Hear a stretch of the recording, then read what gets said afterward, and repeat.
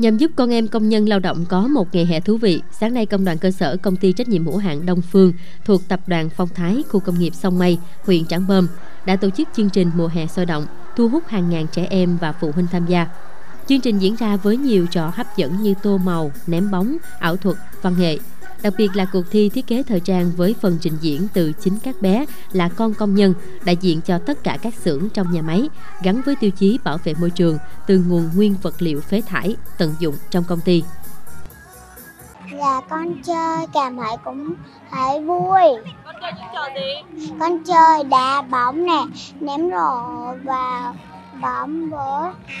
với chơi bong bóng con rất là háo hức muốn đi. Chung là đi vào đây các cháu là thấy uh, nhiều nhiều trò chơi là rất chi là vui. Đấy đây là có quà này rồi là trò chơi bóng này rồi là ném bóng này đá bóng này nói chung là vui mỗi thứ là vui. Trong là công ty năm nào cũng tổ chức cho các các bé như thế này.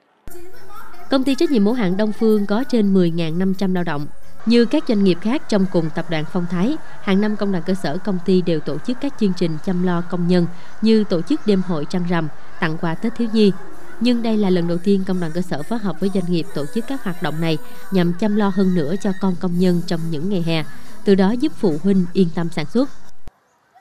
Công đoàn của cơ sở công ty Đông Phương cùng với lại ban lãnh đạo của công ty cũng có cùng làm việc với nhau, ngồi với nhau và tổ chức lên để mình thiết kế một cái chương trình sao cho nó thật là hoành tráng và mang một cái ý nghĩa, thật là ý nghĩa cho các bé trong mùa hè. Và đã chuẩn bị cho cái việc này thì bên phía công ty đã có một cái ờ, sáng kiến là mình sẽ lồng ghép cái chuyện mà phát phát thưởng tuyên dương các bé. Bên cạnh đó thì mình sẽ tổ chức những cái trò chơi cho các bé nè, để cho các bé có thể là mùa hè các bé được chơi thoải mái